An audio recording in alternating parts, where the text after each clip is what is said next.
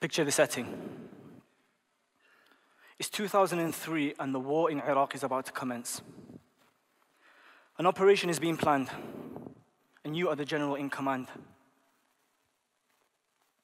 A risk assessment meeting is taking place, and you must decide how to proceed. You're given the stats. In particular, you're told how many bug splats there are per attack. A bug splat, I might add, is a civilian death. Because from the eye of a drone, a civilian dying looks like a bug being squashed. A heavy bug splat is over 30 civilian deaths per strike. General, everything is ready. But we predict 22 heavy bug splats. What do we do? How would you answer? Well, the general in command, General Tommy Franks of the US Army, he replied. And he said, Go ahead with all 22. And you might be thinking a number of things at this point. You might be thinking, This is so cruel. These were innocent people. Or you might be thinking, This is the reality of war. This is collateral damage.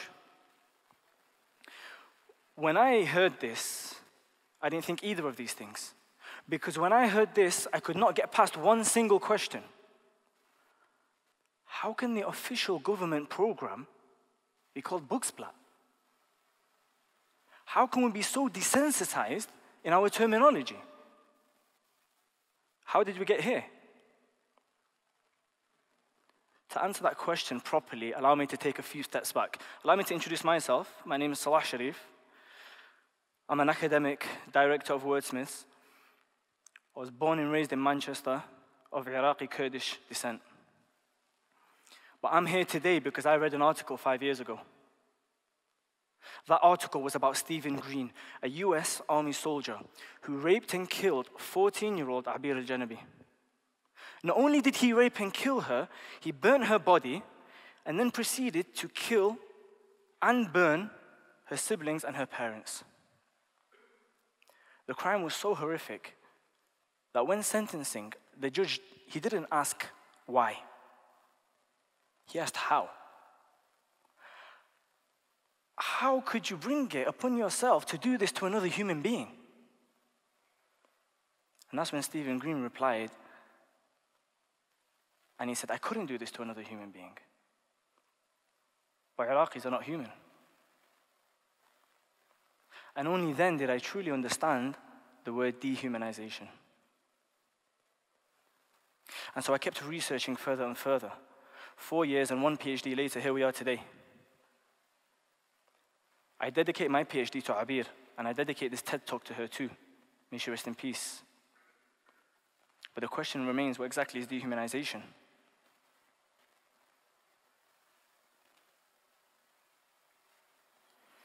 Dehumanization is the act of removing the human element from a person to negate their identity as a human being.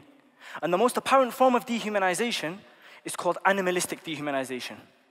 This is where we degrade someone to the level of an animal or lower, such as in the Holocaust, when the, when the Jews were referred to as vermin, or the Rwandan genocides, when the Tutsis were referred to as inyenzi, cockroach. And the reason why we dehumanize is because as human beings, we're naturally averse to conflict and torture and killing. That's why we develop things like PTSD, post traumatic stress disorder. It's a byproduct of the trauma that we face, it's a, it's a coping mechanism of sorts. In World War II, it was recorded that only 15 to 25% of soldiers who had the opportunity to shoot at the enemy ever took their shot. Imagine the fact that 75% of soldiers refuse to shoot in battle just demonstrates humanity's resistance to killing. And so dehumanization is used as a tool to allow us to commit these acts. It was said that even Eichmann, Adolf Eichmann, one of the highest ranking Nazi officials, was sickened when he toured the concentration camps that he organized himself. But to participate in mass murder, all he had to do was shuffle papers at a desk. And so there is another type of dehumanization called mechanistic dehumanization. This is where we act so mechanically that we become indifferent to the other person's existence. The issue here is not that we consider them as less than human. The issue is that we do not consider them at all. Richard Evans once said that the road to Auschwitz was built by hate but paved by indifference. So many of the genocides, of the murders, of the killings throughout human history were committed by people who would ordinarily consider themselves to be good. So the question arises how can people who would consider themselves to be good and moral, under the circumstances, commit such horrific acts? In 1961, Stanley Milgram, a Yale psychologist, sought to find the answer. Following the trials of Adolf Eichmann, Stanley Milgram made an experiment. He gathered a group of subjects to pose questions to a student. And at the order of a scientist in a lab coat, the subject would administer electric shocks to the student every time they got an answer wrong. The scientist and the student were both acting, but the subject didn't know.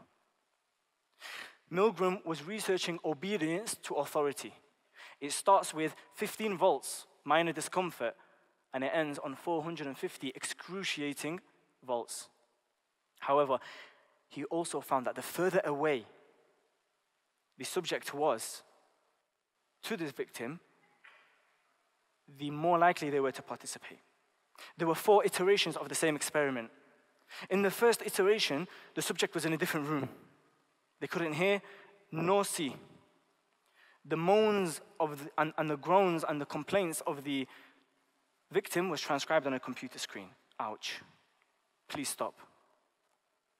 He found that 65% of subjects continued until the very end.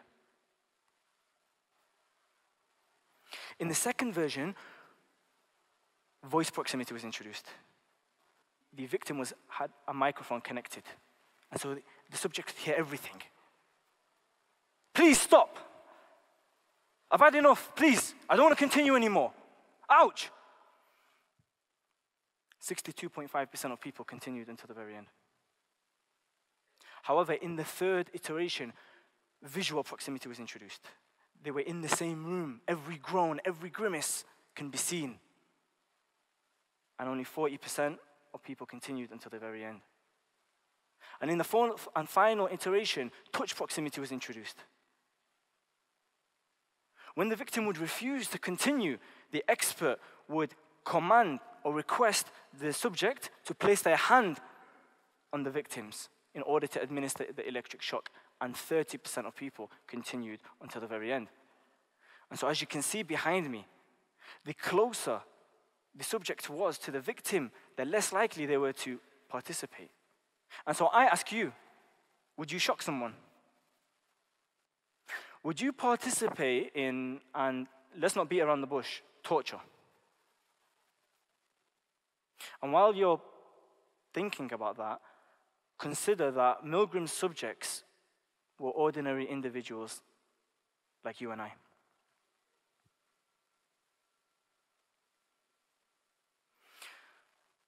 Throughout human history, technology has been used in war to distance ourselves from our enemies. From killing someone with your bare hands to shooting them, to a sniper, to a bomb, we're taking steps further and further away.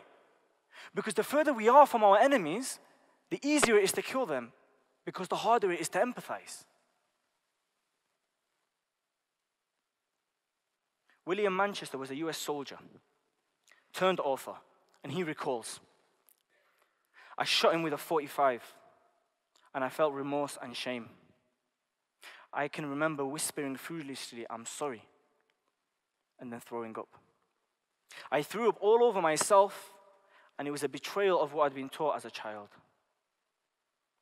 These are the scenes of hand to hand combat.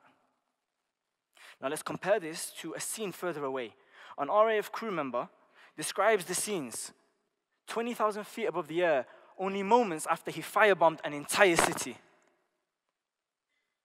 He said, I saw no streets, no outlines of buildings, only bright fires which flared like yellow torches against a background of bright red ash. Above the city was a misty red haze. I looked down, fascinated, yet aghast, satisfied, yet horrified. The crew were close enough to imagine the consequence of their actions, but they weren't close enough to view each individual death. They were close enough to be horrified, yet far enough to be satisfied. As you can see behind me, there is a direct correlation between physical distance and resistance to killing. From hand to hand combat to, to shooting someone with a gun to a sniper to a bomb, there is a dramatic decline in resistance to killing. Drones can be placed furthest to the right on your x axis. Because if you can see someone thousands of miles away on a camera screen, are you close to them or are you far?